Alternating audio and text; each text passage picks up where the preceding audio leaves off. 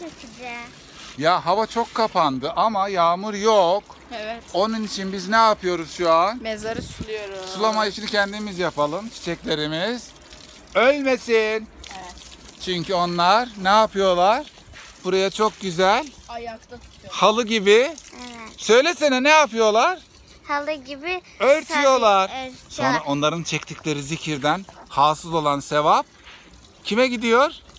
Herkese gidiyor, mevtalara gidiyor. Değil hatta mi? Bakın, hatta bakın örtmüş bir tanesi kocaman. Evet, çok güzel örtmüş mü? Nereye kaçıyorsun? Nereye Buraları kaçıyorsun? temizliyorum.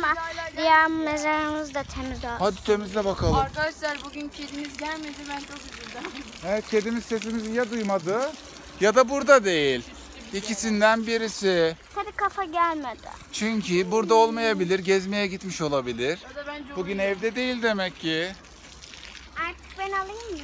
Oralara biraz kenarlardan toprak indirmemiz lazım bence. Dolmuş.